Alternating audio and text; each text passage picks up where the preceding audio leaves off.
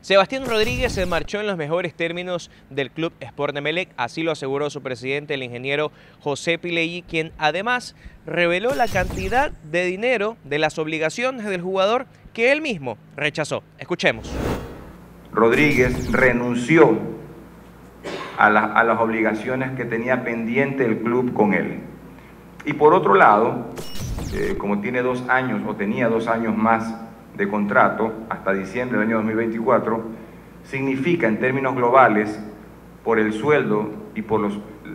beneficios que tenía en su contrato, un egreso adicional de 1.700.000 dólares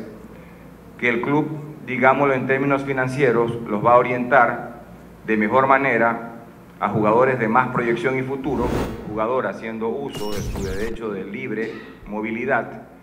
ha firmado un contrato con Peñarol y si durante ese periodo de dos años del contrato con Peñarol se suscita para bien del Club Sport Emelec una venta del, del jugador, el 50% va a venir al club.